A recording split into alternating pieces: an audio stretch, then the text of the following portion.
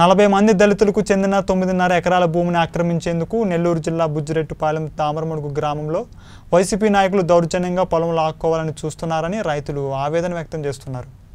పంతొమ్మిది వందల డెబ్బై ఏడులో ఇందిరమ్మ ప్రభుత్వంలో సీలింగ్ చట్టం కింద తొమ్మిదిన్నర ఎకరాలు నలభై మంది దళిత రైతులకు అప్పటి ప్రభుత్వం ఇచ్చింది.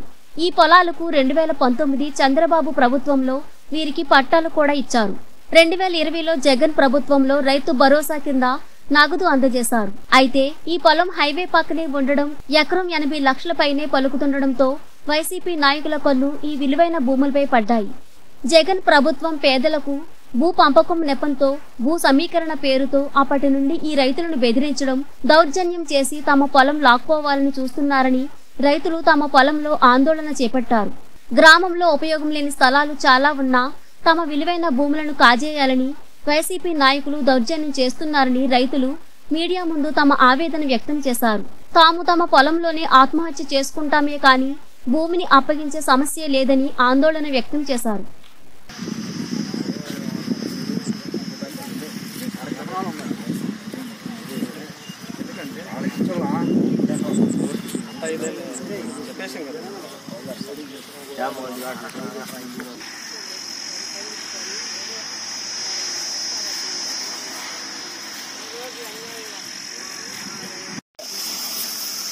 రండి. దగ్గరికి ఉండండి మీరు. మా- దావరముడు గ్రామం. మేము ఇక్కడ వ్యవసాయం చేసుకుంటా బతికేవాళ్ళవి గ్రామంలో ఎంపీటీసీగా ఒకసారి గెలిచాను. తర్వాత బుచ్చిరెడ్డిపాళెంలో పన్ రెండు వేల ఆరులో రెండు వేల ఆరులో ఎంపీటీగా పనిచేశాను. అప్పటి నుంచి గ్రామంలో ఏ సమస్య వచ్చినా మేము పనిచేస్తుంటాం పార్టీ తరఫున. సిపిఎం పార్టీ తరఫున పనిచేస్తుంటాము అదేవిధంగా మేము మా మా మా పార్టీ ప్రభుత్వంలో లేకపోయినా కూడా మేము పంచాయతీని ఎన్నిక చేసుకొని పంచాయతీ తరఫు నుంచి పని చేస్తా ప్రజలకు అందుబాటులో ఉంటాం. అదే పని మేము చేస్తుంటాం. పని చేస్తుంటాం. అదే పని మేము చేస్తూ ఉంటాం. ఇప్పుడు కూడా ఇక్కడ నాకు కూడా ఈ ఈ భూమిలో భూమి ఉంది. నాకు కూడా పాతి నేల ఉంది. ఇరవై ఐదు సెంట్లు ఉంది కాబట్టి దానికి మేమందరం ఈ ఈ ఈ భూసేకరణ ఈ బలవంత భూసేకరణ మాత్రం మేము ఒకటే వైసీపీ నాయకులు. ఇక్కడ అసలు లోకల్గా ఉండేవాళ్ళే ఎక్కువగా ఇంటింటికి వచ్చి ప్రెజర్ పెడుతున్నారు. ఏమని? మీరు ఇచ్చేసేయాలా? ఈగిపోతే కోర్టుకి వేసేస్తారు కోర్టుకి వేస్తే ఒక రూపాయి కూడా మీకు రాదు. ఉచితంగా ఇచ్చేయాల్సి వస్తుంది. ఆయన అని చెప్తున్నారు. అదేమంటే పట్టా పట్టాలు వెనకేమంటే మీరు చేసుకున్న రోజులు చేసుకోండి. మీరు చేయలేని పరిస్థితుల్లో మీరు బీడు పెట్టుకోవాలనుకున్న పరిస్థితుల్లో అట్లా ఒప్పుకోదు ప్రభుత్వం. ప్రభుత్వంకి అండర్ చెయ్యాలని మాత్రం రాసి ఉంది. దాన్ని బేస్ చేసుకుని వాళ్ళు ఎప్పటికైనా కూడా ప్రభుత్వంకి ఇచ్చేయాలన్నారు కాబట్టి ఇప్పుడు ఇచ్చేయాలి మీరు. ప్రభుత్వంకి అవసరం వచ్చింది ఇప్పుడు. ఇచ్చేసేయాలి. అయితే మీకు అవసరం లే మాకు. పట్టాలు ఎప్పుడు ఇచ్చారు? పట్టాల్లో పోయిన సంవత్సరం ఇచ్చాడు. పొలాలు ఇప్పుడు ఇప్పుడు మేము బెదిరిస్తున్నారా? డెబ్బై ఏళ్ళు. బెదిరిస్తున్నారా? బెదిరిస్తున్నారు.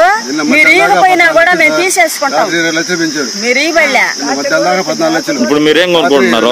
మాకు భూములు మేము మేము పండించుకో తినాలని కోరుకుంటున్నాం. ఇక్కడ పంతొమ్మిది వందల డెబ్బై ఏడులో ఇందిరమ్మ ప్రభుత్వంలో సీలింగ్ చట్టం ఒకటి తెచ్చారు. అంటే ఈ పొలం వచ్చి కాజావారి పొలం. అక్కడ ఉన్నర ఎకరా వచ్చేసి వంగల్లో కృష్ణారెడ్డి పొలం. ఆ సీలింగ్ చట్టం ఏంటంటే ఒక కుటుంబానికి పద్దెనిమిది ఎకరాలు మించి ఉండకూడదని సీలింగ్ చట్టం చేసిన తర్వాత ఈ మిగిలి భూమి ఇది కూడా పట్టా భూమి. ఆ సీలింగ్ చట్టం ఇది మిగిలిపోయింది.